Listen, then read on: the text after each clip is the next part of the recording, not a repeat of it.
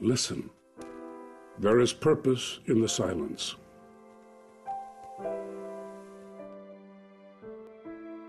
A lifetime lived as teacher, counselor, leader, and friend.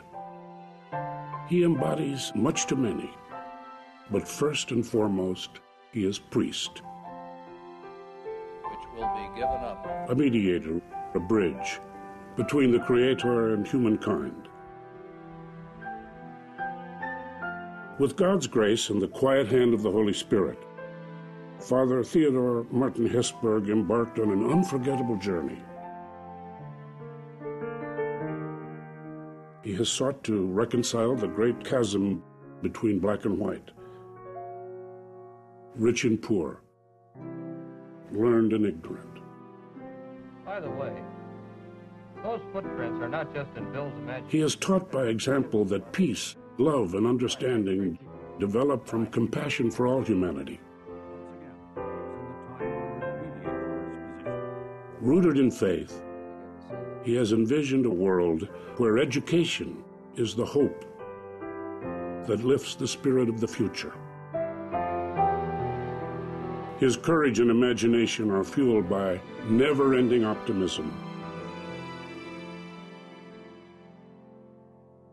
With God, all things are possible.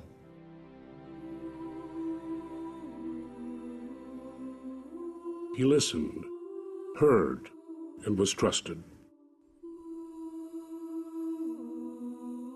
He took chances, gave reasoned arguments, and worked for positive and lasting change.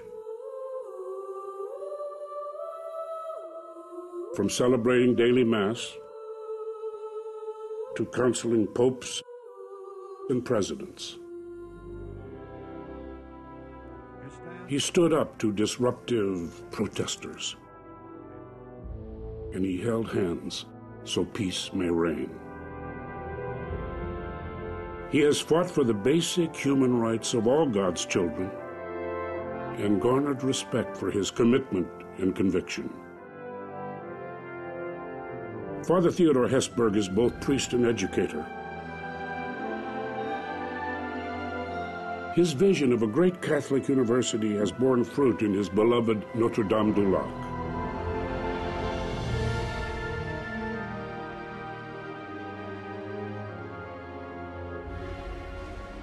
He inspires us all by a life in which he dared to imagine a world fashioned in God's image.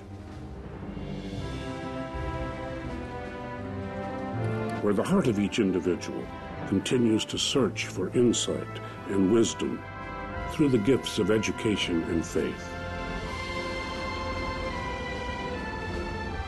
In the joyous moments of play